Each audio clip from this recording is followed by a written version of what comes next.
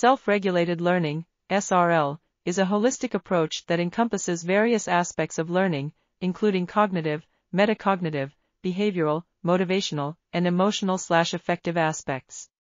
Six models of SRL are analyzed and compared in this paper, Zimmerman, Boekaerts, Winne and Hadwin, Pintrich, F. Clydes, and Hadwin, Järvelä, and Miller.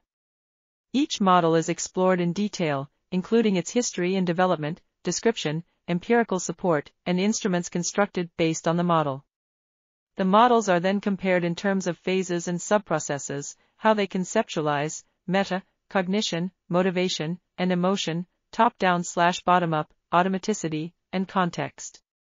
The review concludes that SRL models form an integrative framework for research and teaching, with differential effects on students' learning and SRL skills based on their developmental stages or educational levels. Scholars and teachers need to apply these differential effects to enhance students' learning and SRL skills. This article was authored by Ernesto Panadero. We are RTCL.TV, links in the description below.